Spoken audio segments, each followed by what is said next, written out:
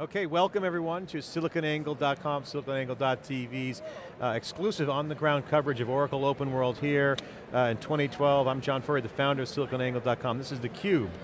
theCUBE is our flagship telecast. We go out to the events and extract the signal from the noise and share that with you. And Oracle Open World is the scene of the biggest tech conference in the business. 50,000 people are here. Larry Ellison, the longest standing CEO of the tech computer generation is still active, still punching at the competition, still competing. It's an exciting show. We're going to be here for three days, Monday, Tuesday, Wednesday, live every day with exclusive interviews from thought leaders, alpha geeks, tech athletes.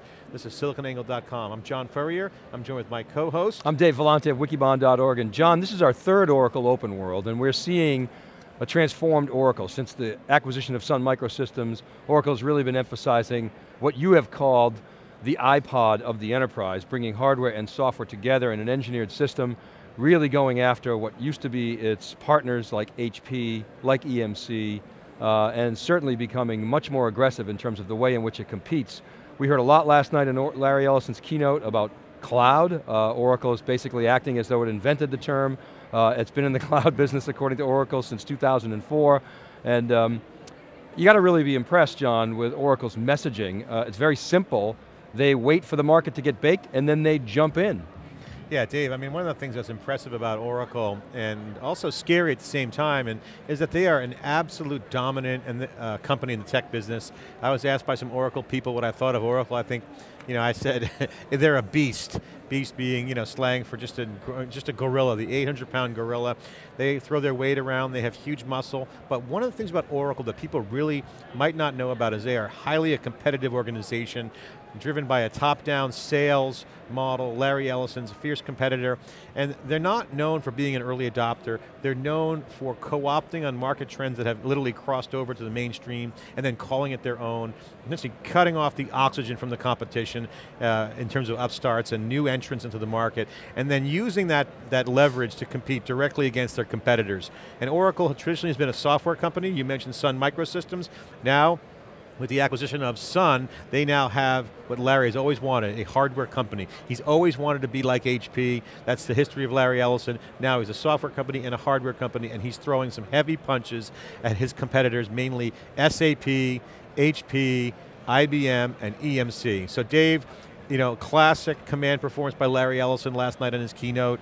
Um, you know, all the insiders in the commentary on Twitter are, are, saying, what everyone's been talking about and kind of known inside the ropes here in the business, is that Larry literally is late to the party, but what he does is he packages it beautifully to give his troops and his customers the feeling that Oracle has a solution for them that can take them into the future he uses words that we use, modern infrastructure, modern databases, the word modern. That's what he's trying to, to peddle, that's his vision. He's co-opting trends, calling it his own, and that's classic Larry Ellison, classic Oracle. So that's kind of my take on the keynote, and, and what's, your, what's your take of Oracle? You have history with them.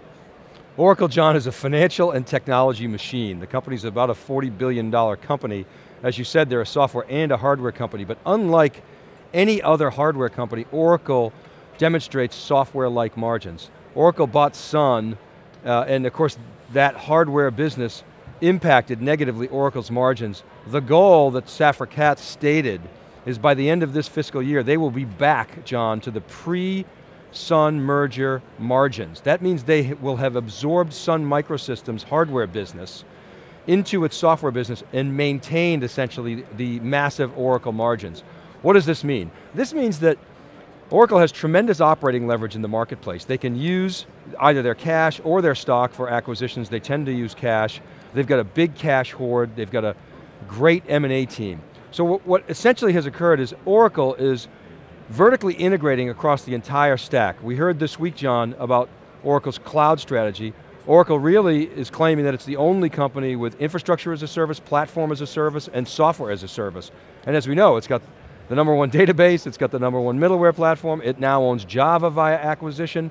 Its weak spot has always been applications. It went out and bought companies like PeopleSoft. It spent six years developing Fusion apps.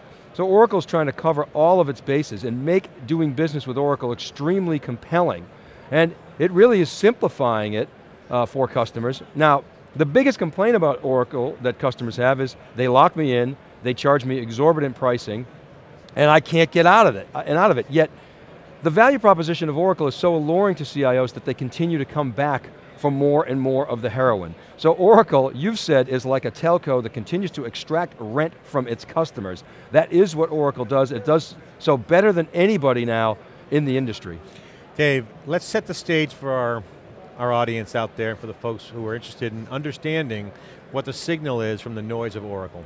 There's a lot of noise, they shut down San Francisco, you know, San Francisco is to the, the venue, and the, it really is, is a, a battle between Salesforce.com and Oracle in terms of who can have the biggest events, and this is again, to build on top of the Dreamforce event that Salesforce had last week, uh, which we did not attend. This is a bigger event. Um, and we're in San Francisco. So let's set, set the stage for, for Oracle. There's a lot of noise here, there's a lot of also the big players here. We're looking at companies like Symantec, Informatica, Accenture, VMware, I, IBM, EMC, HP, Intel, Cisco, all the big companies are here, including the service providers. Oracle has had years and years of success with this ecosystem in the enterprise, and right now we are seeing a massive uh, transformation to cloud, mobile, and social. That's their core branding. So let's set the stage. So I want to ask you, Dave, describe to the folks out there what the scene is like here from a really big picture. Um, who's here, what's the messaging, what's the positioning, what is Oracle saying here? So Oracle Open World is Oracle's you know, largest event. It's one of the largest events in the industry, about, I believe, 40,000 people. I don't know what the official number is this year, but it's Oracle's big customer event. And John, as you have said in other segments, I've, heard, I've listened to you, Larry Ellison loves speeds and feeds, and he jams speeds and feeds down his customers' throats at this show, talking about Exadata and Exalogic and Exalytics and all the cloud and all the performance and all the flash, really hyping up. I mean, he is very much like Steve Jobs of the enterprise. So the vibe here is a lot of customers that are reliant upon Oracle, a lot of DBAs that really know Oracle and love Oracle, uh, and that really is their expertise. That's their wheelhouse and Oracle is playing to that. Alongside of that, you have an ecosystem that is increasingly becoming competitive with Oracle. A great example is EMC. EMC and Oracle have become really quite vicious competitors. Oracle's always, uh, Larry Ellison's always taking pot shots at EMC's core disk business saying how Oracle can outperform them. Joe Tucci, EMC CEO, will be on stage tomorrow, tomorrow morning, and we'll have paid the, probably around a million dollars for the right to talk to Oracle customers. So while there's this competitive atmosphere going on, companies and competitors like EMC have to be here to appeal to that customer base. So you've got this situation where you've got the old line competitors of IBM and Microsoft competing with Oracle, and then the new line competitors such as Salesforce and startups like Workday, and importantly, John, EMC and VMware, the new platform uh, company that is really taking the enterprise by storm. We're going to dig in through the course of the next three days here on siliconangle.com and wikibon.org um, to drill down into all the specifics. We're going to extract the signal from the noise for you and get into the weeds and talk to industry experts, geeks, alpha geeks, and, and what we call tech athletes to get the signal from the noise and, and, understand what this means for CIOs, for enterprises, for business, for, for the press, for everyone. What is going on with Oracle? We will explore all those topics. No stone will be, all the stones will be unturned here at Oracle Open World. But let's just first set the stage of what this means for businesses that have Oracle or have people pitching to them from Oracle in, in today's modern uh, uh, enterprise, Dave. So here's my take, and then I'd like to get your take. My observation is Oracle has hardware with Sun. They understand that their software business is under siege from the new demands with mobile and cloud computing, and they're trying to transform that. But first and foremost, at a, at a more kind of a higher level, Larry Ellison is trying to be the Steve Jobs of the enterprise. And if you look specifically at that, and in his keynote last night, he said specifically that we're going to get more proprietary silicon. That means he's going to build proprietary hardware on, with their Oracle suite and put everything into the cloud. This is what it means. Oracle is doing the Apple playbook. Apple rolled out their own hardware to control the user experience and to control the performance. A closed system, if you will. And that has been a very successful formula for a consumer business with Apple. Oracle is, and Larry Ellison are taking the exact same playbook and saying, you know what? We can perform faster, that's all that matters is performance, and can the software run in an environment that customers can use? So for the CIOs out there and for businesses, Larry's trying to position himself as this modern company. built on this old legacy software. And then on the product side, it's all going to the cloud. People need mobile computing. And, and you hear things like a new database, flash memory. These are the mega trends. Big data, flash memory, solid state drives, cloud computing are driving and transforming Oracle. If Oracle does not make these moves, Dave, they will die, and they understand that. They're protecting their business. So to me, that's the big set to set the stage. So if you're looking at Oracle, you're trying to understand Oracle, whether you're looking at buying their stock or buying their products, you got to understand that this is a major, major transformation for Oracle. Larry can put all the sizzle he wants, but the, at the end of the day, what's on the grill and the steak that's on the grill is legacy steak, and he's trying to polish that up and make it look modern.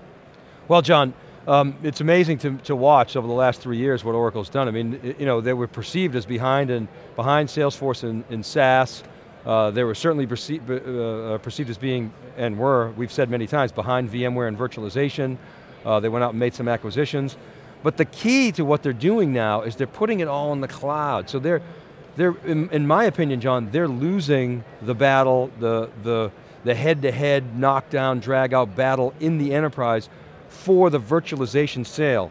For example, what they've done now is said, all right, we're going to wrap that all into the Oracle private cloud, the Oracle public cloud, we're going to use the same hardware and the same software between those two systems.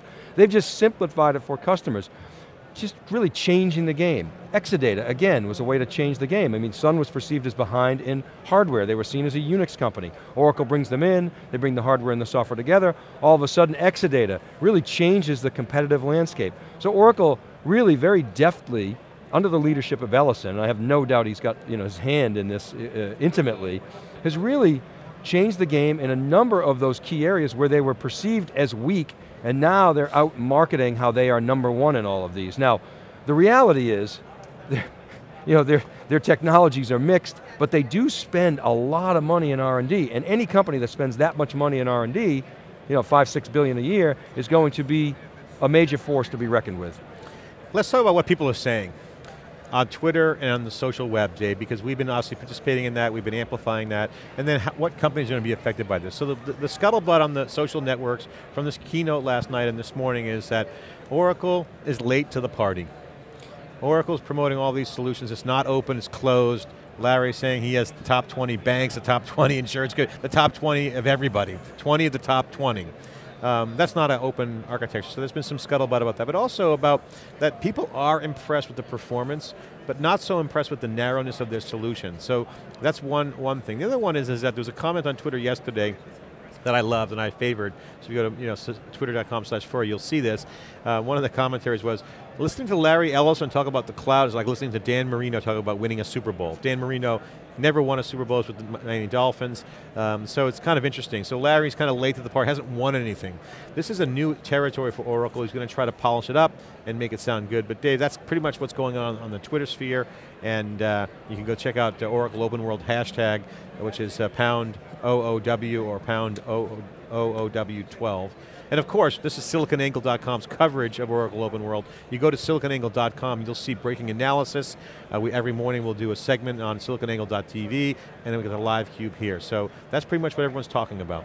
Yeah, so let's take a look at the cloud uh, strategy uh, of Oracle. So a couple of years ago, several years ago now, must have been three or four years ago, in an interview with Ed Zander at the Churchill Club, Larry Ellison, which is now famous, was really trashing cloud, sort of denigrating the concept, big deal, it's water vapor, it's microprocessors and servers and storage, and we've been you know, renting that for, for years and years and years, so everybody sort of perceived that Oracle was behind in cloud. Now today, Oracle's claiming that is the only company that can offer infrastructure as a service, platform as a service, and software as a service. So it's taking on its major competitors on all fronts. It's got a three-front war just in cloud, John, let alone the on-premise side.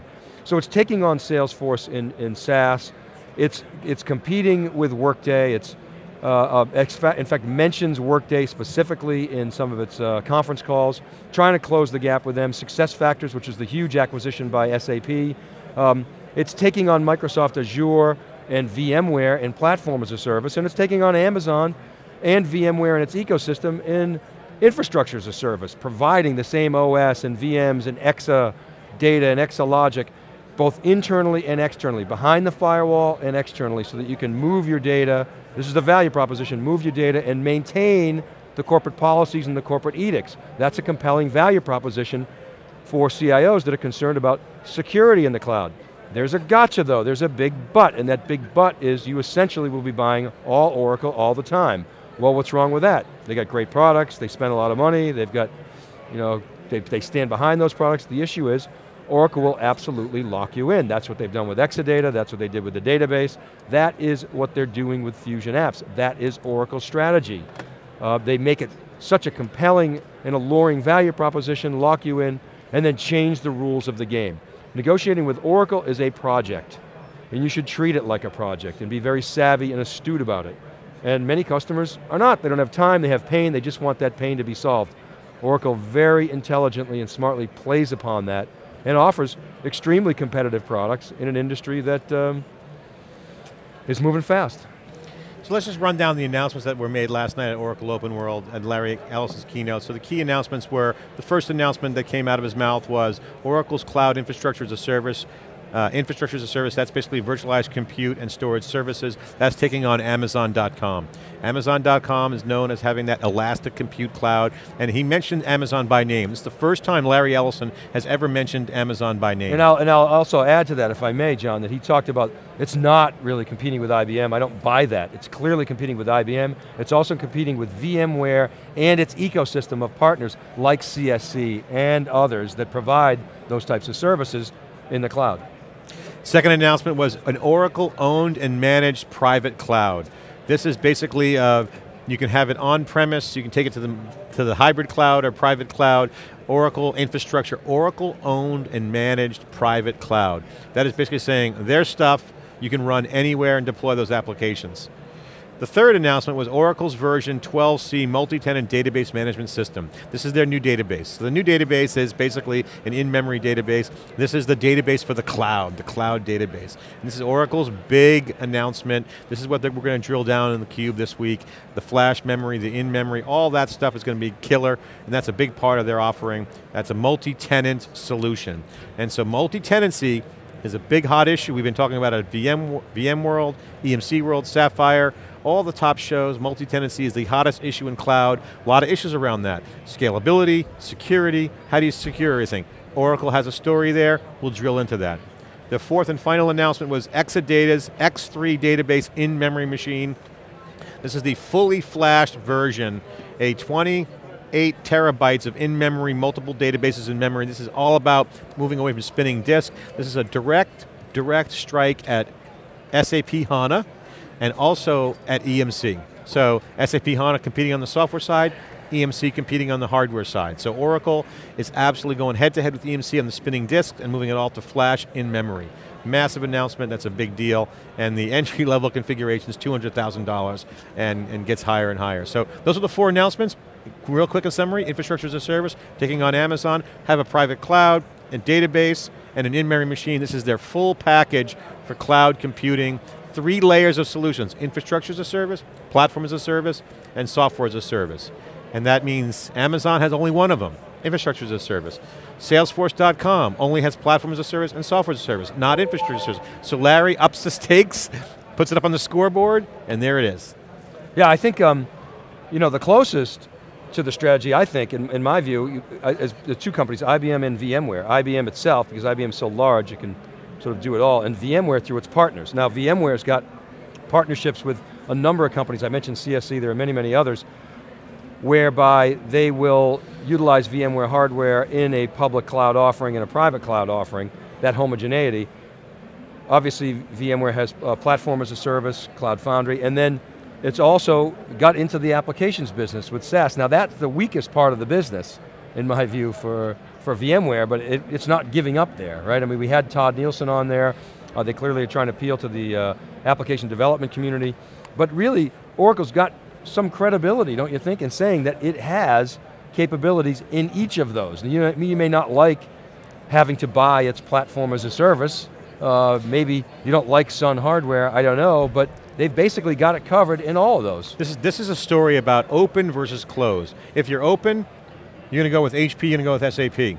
If you're closed, you're going to go with Oracle. And this is absolutely the case where if you look at the different solutions, uh, you know, like VMware, for example, is building out an amazing stack, an amazing set of solutions, but here's the problem. They get to build out. Oracle is just putting the stake in the ground saying, we're built out. So that's Larry's move. Larry's move is to say, we are built out, here is a viable solution right now, and challenges VMware to go build out. So, but there's two trade-offs. You want closed turnkey with Oracle, you want build out with VMware and the rest of the world. So, you know, HP, IBM, Dell, these are industry standard solutions. Oracle doesn't care. Oracle wants Oracle proprietary hardware, Oracle software, there's some threats from Oracle customers saying we don't want it on premise, so they put it in the cloud. That's their move, Dave. So the question is, open versus closed. And, and you nailed it, it's built out. Now, the, the, the impressive thing about to me is that Oracle in many ways, in my mind anyway, is an M&A company. They got $30 billion of, of, of cash and short-term investments on the balance sheet, and they set forth a vision. Larry Ellison changed the game. He used to denigrate companies that would write checks instead of writing code. And then Ellison realized that this business is changing, it's consolidated, he went out and he started to go on one of the you know, most epic acquisition sprees of our time. But he didn't just buy companies and say, all right, we'll figure it out later. Oracle's always had a vision and a strategy. Now, they don't necessarily lay out that vision at events like this. They really, as I said before, they jam feeds and speeds down your throat, but very clearly, Oracle has and has had a playbook with its apps business for Fusion apps and the acquisitions that it's made. With its, with its cloud business, it saw that cloud was beginning to hurt its business with Salesforce and now new startups like Workday. It has now said, all right, we can do that too. You know, okay, Mr. CIO, we have that, like you said, John, I think you know it. It is built out here, today, now. We, you can buy it, we stand by it, you know, we're a reputable company, sign on the dotted line. Well, the question is, it's built out, but is it workable and is it fit the solutions? And that's again, we're going to dissect all this on, here inside SiliconANGLE theCUBE, and um, you can go get more information. We're covering it all on free content on siliconangle.com, where we extract the signal from the noise, and go to wikibon.org, wikibon.org, and go check out all the information there. It's all free content. Um, and there's areas we can, we can point you to. So if you go to wikibon.org slash big data, there's a place you can get all the latest original content from SiliconANGLE Wikibon about big data, videos with experts, research reports, everything. We have some great research on IO-centric infrastructure to highlight the, the, emerging companies like Fusion IO, Violin Memory Systems, EMC, HP, IBM, and Dell, and what's going on with those guys. I, I, I make a suggestion to our, our listeners here, our, our, our audience.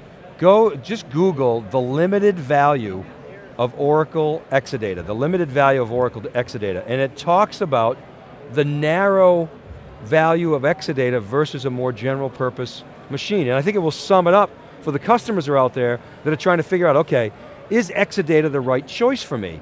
And I think there's a trade-off. Exadata is going to be very narrow in its value proposition. You're not going to be able to use it as a general purpose system across the entire application portfolio. At the same time, it's convenient. But if you're worried about diversity and you have a lot of homogeneous applications and infrastructure and you're worried about long-term TCO, a general purpose system might be better, like one from HP or NetApp or EMC. So check that piece out, the limited value of Oracle Exadata, to try to help you squint through some of those trade-offs. Okay, so let's change gears a little bit and talk about big data here on siliconangle.com, Wikibon theCUBE. Big data is an area we've been covering, it's exploding, it's the hottest trend in, in the tech business um, that I could remember. It's changing, creating a lot of value.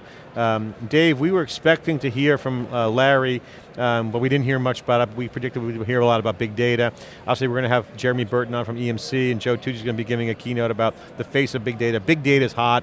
I mentioned go to wikibon.org slash big data to find out all of our original content. But big data, Dave, what is going on with big data here at Oracle? Because big data is a disruptive revolution that's changing businesses. Instrumentation of business, real-time dashboards. SAP was promoting that um, concept. So, it's a disruptor. So, Oracle is the anti-disruption, the anti-innovation company. They don't take any chances, they wait for it to be you know, validated in the market before they do anything. So is big data not ready for Oracle to co-opt yet and own? Or are they nervous that it's going to disrupt the database market? Because we're going to hear from the CEO of Cassandra, uh, DataStax within the Cassandra space, we talk about uh, Hadoop uh, world coming up in New York. The database market is being disrupted by the big data trend. And that's a direct threat to Oracle. That's going to affect their stock price, it's going to affect their sales. So what's your take on that? Well, there's, there's no question that Oracle, in my view, right now is not ready for big data.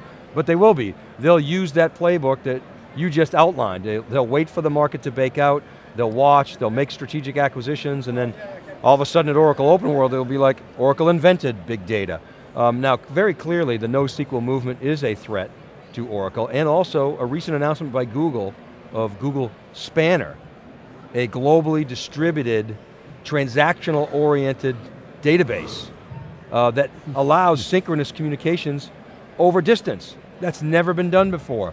Uh, and that is, strikes directly at the heart of Oracle's value proposition. So, big data, John, is all about open source, it's all about disruption, it's about things like Hadoop. Uh, it's not, in my view, about legacy databases yeah. and Exadata. Now, yeah. having said that, Exadata is different, but I don't consider Exadata as quote unquote big data, do you? I do in a, in a narrow way, right? I mean, here's the thing that I talked about when I commented on Larry Ellison's whole Steve Jobs positioning, being the Apple of the data center. Apple does not need to play well with others because they don't have to. All they have to do is put the iTunes music out there, and they disrupted that with the 99 cents uh, songs and, and an app store. That ecosystem feeds, feeds Apple. Okay, so the marketplace feeds Apple's business model of having proprietary, optimized hardware with their high-end software. Okay, Android's catching up, a little bit more open, but for the moment, iPhone works because of the iTunes and because of uh, the App Store. Yeah, they got great products and that helps too on the hardware. Oracle's different. Oracle needs to play well with others. CIO's main job is to integrate multiple vendors that have multiple solutions. So it's very, very rare for an enterprise to have one vendor. And that is really, really important because what this does is it makes Oracle the bottleneck of innovation and expansion of enterprises. I'll give you an example. Software-defined networking. Software-defined networking is the hottest trend happening at the network layer. It uses virtualization to make networks faster, more productive, and actually optimize for the, for the new kinds of traffic patterns with mobility and cloud. That's a disruption to Oracle. Oracle's got to build that into their monolithic, closed system. So that's just one example. The other example is applications. No one wants to write applications for Oracle because they know that they'll kill them. They don't have that App Store dynamic. So these are major forces. So this could be a miscue of epic proportions by Larry Ellison. If he cannot manage that dynamic, he will never ever be the Steve Jobs of the enterprise because of that interoperability. And I've been in the enterprise now coming up to 30 years playing in this business, and I've never ever seen a monolithic proprietary solution move fast and be dynamic and win. So one thing's clear, well I would say clear, but it appears clear that Oracle's not going to come in and try to do its own Hadoop distribution, for example. Microsoft is aligned with, aligned with Hortonworks, we've seen uh, Oracle align with Cloudera. Now, having said that, maybe Oracle takes out Cloudera someday and you know, gets into that business. Uh, uh, Oracle owns some key pieces of open source software, Java and MySQL. You know, who would have thunk? And so, I have no doubt, John, that Oracle is going to scan, they've seen this, this before. They're like, it's like the IT guy, as new technology comes along, says it's going to change the world, and, and he or she, they wait, they wait, they wait, and they say, okay, look, it, it's about the people and the process, it's not so much about the technology. Now, I think what's changed is 20 years ago with the PC revolution, the mini computer guys were caught off guard. And guys like Larry Ellison were the ones who disrupted them. Uh, certainly Intel and Microsoft and others, EMC, and I think that the legacy of companies like Oracle is to be, to build great companies and be able to navigate through these periods of disruption. And um, you know, so far, I just don't see Oracle getting disrupted to the point where we see a repeat of the Prime and the Wang and the DGs of the world. So you're watching siliconangle.com, siliconangle.tv is theCUBE. This is our flagship telecast. We go out to the events and extract the signal from the noise. I'm John Furrier, my co-host Dave Vellante, uh, founder of wikibon.org. We provide real-time research, real-time commentary, real-time video. We go out to the events, extract the signal from the noise. Got a great uh, lineup of guests this week. Uh, CEOs of startups. No one from Oracle is coming on, Dave. So again, third straight year, Gorilla Cube, we come in, um, Maybe next year they'll have us on the big stage and, and provide some commentary, but here's what we're going to do. We are going to analyze and provide commentary around the signal coming out of the noise because it is very noisy here at Oracle Open World, 50,000 people in attendance, massive navigation challenge. People trying to figure out what the hell's going on. Larry Ellison is a showman. He's an industry statesman, tech legend, tech athlete, Hall of Famer. I mean, everyone else is kind of sitting around. We had Scott McNealy, who's working on some startup, doing some philanthropy. Um, Joe Tucci really is the really one other guy around that has that kind of you know legacy power. Um, but Larry Ellison standing around, he moves the crowd, he moves the masses. In a way, he's got a job-esque kind of feel to himself right now. Well, and he was a and, founder too. And, right? and we're going to extract that signal. So stay here, siliconangle.com. And uh, Dave, let's quickly review again the announcements. What's your takeaway from the big, the big picture here so far? What's the signal coming out of the keynote and day one morning of Oracle Open World? So the signal is, Oracle very clearly has laid out its cloud strategy. Starting with the infrastructure as a service, building on that platform as a service, and then of course software as a service. And it essentially is taking its Fusion apps, making them available on the public cloud, taking its uh, uh, core platforms of database and middleware and Java, making that available on both public and private cloud, and of course, infrastructure of a service using Oracle hardware, Oracle software, and making that available. So the complete cloud stack. Now, as you've pointed out many times, that is the red cloud. Uh, and so buyer beware, but that is a very clear part of the strategy. In addition, we're talking about Exa everything, the new Exa Exadatas, a lot of flash, We've seen this coming. Uh, Oracle's going to be competitive, take off the gloves, make radical claims about performance. Uh, what Oracle oftentimes does, John, is it'll compare its current performance to a generation ago, ago of the competitors. It's been known to do that from time to time. And uh, some of its competitors have objected, even, even in court. Uh, but you'll see Oracle well, do Dave, that. let's talk about the competition real quick. Let's go down the line. Oracle has traditionally been a, a, software company competing against SAP and other companies that they've taken out, right? Siebel, the list is endless. Now, a lot's changed, so just take us through your view of the competition. Yeah, so the competition is um, all over the place. Or Oracle is essentially at war with the world. Its biggest competitors traditionally have been IBM and Microsoft. IBM, obviously, very successful, uh, does a lot of R&D. Microsoft, from a software standpoint, has always been one of Oracle's biggest competitors, as well as SAP. IBM, I think, is still the most broad competitor of Oracle. Um, I, I, think the other broad competitor is EMC and VMware. I think they are attacking on all fronts. Um, Microsoft, certainly with Platform as Service and, and Azure, is, is relevant, uh, but I think that um, others have more momentum in the marketplace. SAP with HANA, Oracle has countered SAP. So what you have here, from a CIO's perspective, is Oracle wants to be your preferred supplier. You're relying on Oracle technology and Oracle databases for your core operational systems and they're building out applications and platforms around that. Um, they, like any software company, are happy to see hardware become commoditized and put as much function, integrated function into their software and hardware stacks and charge premiums for that. That's how Oracle will differentiate. So Oracle, full line supplier, a lot of services, it makes, still makes a ton of money on its maintenance, uh, and essentially a strategy to lock you in with that compelling value proposition.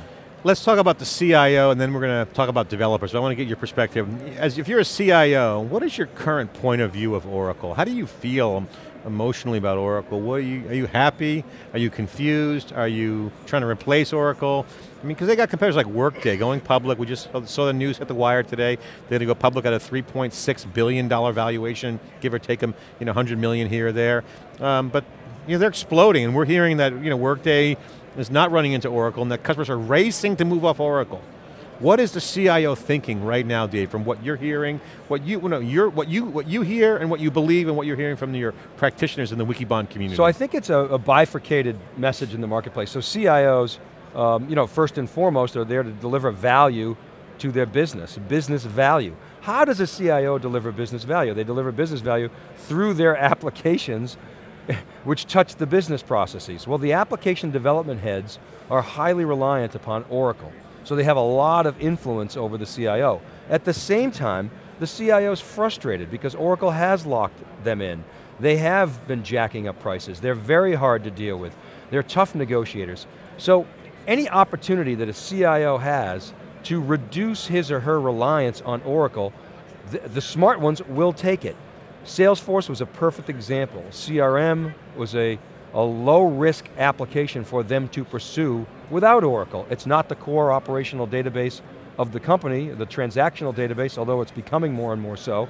Same thing with Workday. We've been tracking Workday for a while at SiliconANGLE Wikibon, and very clearly Workday has fabulous momentum in the marketplace. Why? Because it's highly functional HR software that is simple and cloud-based. It's almost the, the CRM of HR software. Now, Oracle will try to close that gap, they'll try to keep people on, they'll try to bundle in the services, but you can see pockets where people are very effectively competing. Virtualization is another one. VMware very effectively competing against Oracle, and I think CIOs look at that saying, hey, my infrastructure is being built around VMware, I need you, Oracle, to support that, and Oracle supports that reluctantly. So very mixed emotions from the CIOs. On the one hand, they're reliant upon Oracle, they're very you know, uh, interested in Oracle and Oracle's direction. They want, they'll will give Oracle time, much more so than they will infrastructure companies, but at the same time they're kind of pissed off because of the way they've been treated. And that's the, the yin and the yang of the CIO's view toward Oracle, in my view.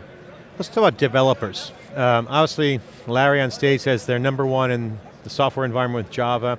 Java is under siege, and mainly because Java is so successful, Larry is correct, it is number one, and that's not Larry's doing, by the way. He acquired that with Sun. Um, so, it's out there. Oracle controls Java. That, that's, that means a lot to developers, and developers right now, in my opinion, from what I'm hearing, and we haven't heard anything here on the floor in terms of announcements, JavaOne is going on, we're going to hear hopefully some about that.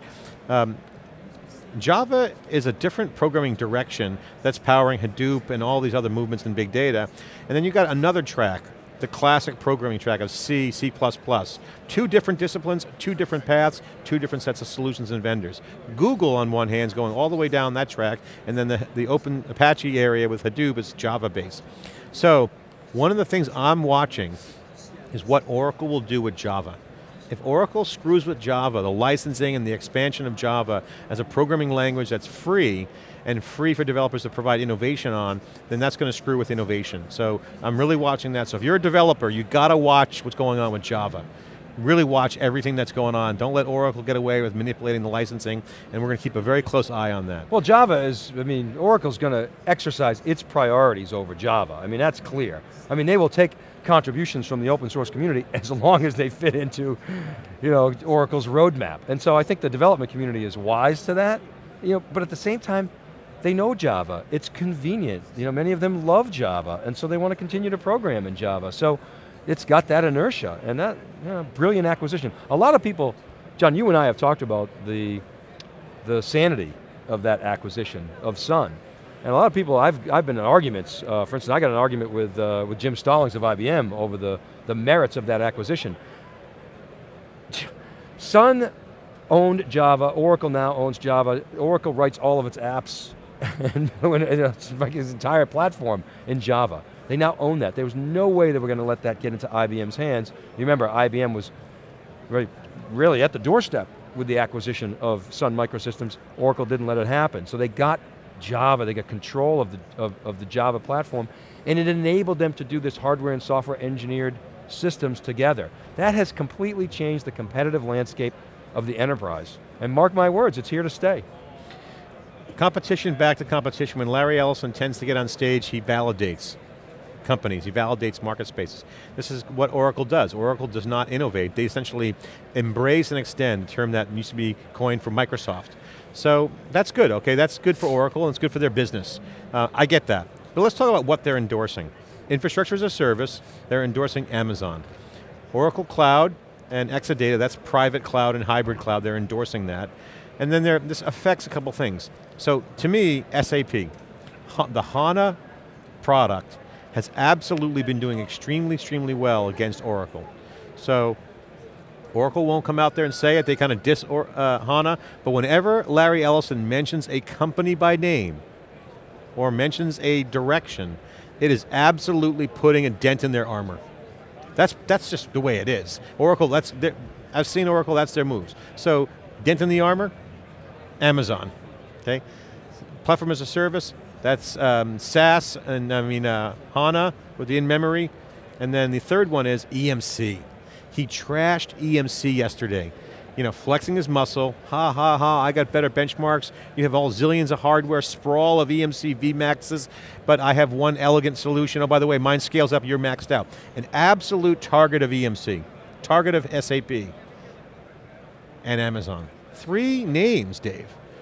Yeah, I want to get your take on, so on that. Let's I like where you're going with that. I think you're absolutely right. This, you know, I, I'd not thought about that, but, but yet again, John Furrier comes up with an interesting angle. So Salesforce, Workday, Amazon, EMC, and SAP are the, the, big, the big five that I've heard so far this week and leading up uh, to this event. And of course IBM. IBM doesn't need validation. I mean, IBM is the, is the king of, of the industry, but, but By so, the way, no mention of HP. no, no mention of HP. Um, yeah, I mean, you know, HP and Oracle used to be really close partners. O- Oracle Unix was the was what you remember the 90s. I mean, Oracle Yeah. Unix is what, what really defined open systems. So, so let's talk about one company that was not mentioned that we're very familiar with, NetApp.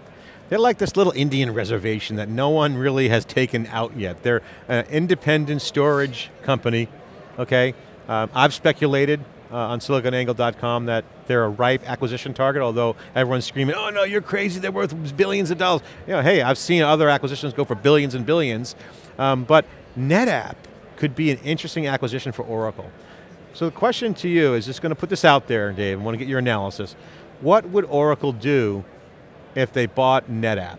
And one, is that a viable, even plausible conversation? I think it is plausible. Uh, there's certainly been a lot of rumors about that. I personally don't think it's going to happen because I think it's too rich for Oracle and not strategic enough. I think Oracle would rather use what many people consider inferior storage. Hold Sun- on, hold on. HP paid $10 billion, $11 billion for Autonomy. autonomy. Today's market cap of NetApp is 11.9 billion. Well, first of all, I don't Hostile think, takeover? first of all, I don't think HP should have spent 11 million dollars on autonomy. true, So notwithstanding that, um, was- could Oracle take out NetApp? Absolutely. There's no question in my mind that if Oracle wanted to, and if NetApp were viewed as strategic, that Oracle could do that. I think, however, that Oracle feels, this is just my opinion, and I have any inside information here, that Oracle feels that it can compete with what many consider inferior storage hardware from Sun, and it can compete and just and do good enough. Oracle tends not to pay up for huge application or, or huge acquisitions, except things like Endeca, paid a big number for Endeca, but I think it views that the, the semantic platform of search is uh, uh, uh, uh, strategic to application development down the road. I think it's paid up for a number of social applications, but I think it sees social as a component, as a, as a feature of applications, not a business in and of itself. As such, I don't know if Oracle wants to compete in the independent storage business. Oracle wants to integrate.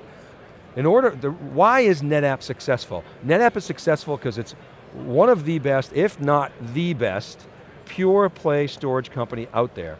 In fact, I'll say that. NetApp is the best pure play storage company out there. EMC is not a pure play storage company anymore. You know, a lot of the startups are gone. So Their NetApp- market cap's 57 billion. Yeah, well, and it's they're a virtualization company, they're a big data company, they're, you know, many, many places now. And obviously, you know, the core is storage, but NetApp is the premier independent storage company. Does Oracle want to be in the independent storage business? I don't think so. I don't think it wants to go out and compete in EMC's wheelhouse, in 3PAR's wheelhouse. Rather, I think it wants to integrate. So then the question becomes, how core are NetApp technologies to what Oracle is trying to accomplish with its vertically integrated strategy? And I think a lot, a big chunk of NetApp gets hollowed out if Oracle buys NetApp. That's just my take.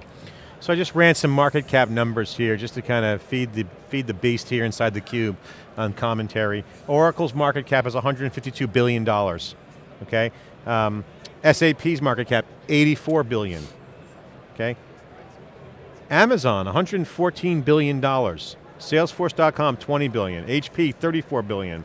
EMC, 57 billion. And uh, Workday private, but we just talked about them going public at a 3.8 billion dollar valuation. Um, you got Amazon knocking on the doorstep in terms of valuation against Oracle.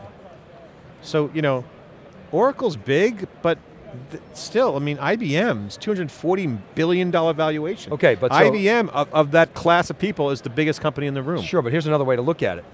So I, so Oracle is, is from an operating standpoint, the most profitable software company you know, out, out there of the big guys. One of the simplest ways to look at this, the valuation game, is look at revenue multiples.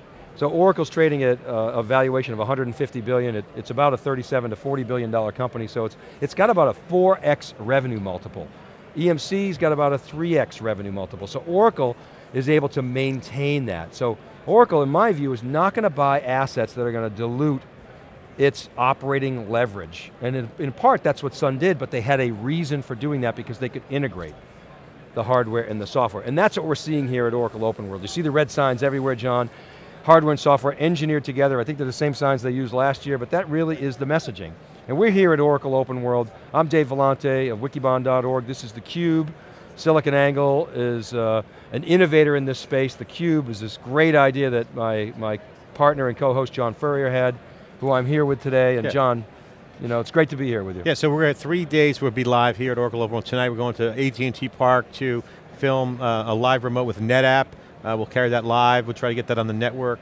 Uh, but siliconangle.com is the reference point for tech innovation. We, our goal is to extract the signal from the noise and share that with you, provide some commentary, color analysis, and talk about the business of tech, the innovation, and get in the weeds and talk to the tech athletes uh, and get the get the the real deal on what's going on in cloud. Obviously, Oracle is going to promote it the way they want. They're a big, big gorilla, 800 pound gorilla in the room. San Francisco is pretty much closed down. 50,000 people here at Oracle Open World, and it's exciting. Yeah, and we're here at the QLogic booth. Shout out to QLogic, uh, one of our key sponsors of this event. Uh, they give us this great booth space, and uh, like John said, we got to we got to go guerrilla, and uh, it's really great that QLogic helps us do that. Uh, Fusion IO is another sponsor of ours at this event, as well as EMC's BRS division, as well as NetApp, and as John said, we'll be covering uh, the NetApp event tonight, and uh, we'll be focusing on, uh, on the backup and recovery aspects for Oracle. Uh, we'll also have a segment on Flash that is sponsored by Fusion IO. So thank you to our sponsors. Yeah. And, I just want to say about the sponsors too, about QLogic has allowed us to be in their booth third straight year. We knock on the door and we go in the front door of Oracle, they slam it shut. We try to come in and bring the cube in, they won't let us in because the space is a premium here. There's not a lot of space, it's closed down, but or Oracle is possible. Oracle Open World coverage by SiliconANGLE, our great independent editorial and analysis is brought to you by QLogic. Third year in a row, QLogic. Those guys are leading the OEM deals, they're kicking butt, they have a great new technology, and with flash, memory, storage is the hottest thing. QLogic's a key part of bridging that, so go visit QLogic and thank them. Fusion IO needs no introduction, those guys are leaders, and uh, without, without them leading the storm, we wouldn't see the big flash movement. They are the pioneers in flash and solid state. So this is siliconangle.com's theCUBE, our flagship telecast. We go out to the events, extract the signal from the noise. I'm John Furrier with Dave Vellante. We'll be right back after this short break.